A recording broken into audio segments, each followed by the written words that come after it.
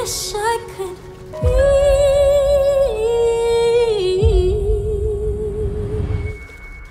part of that world.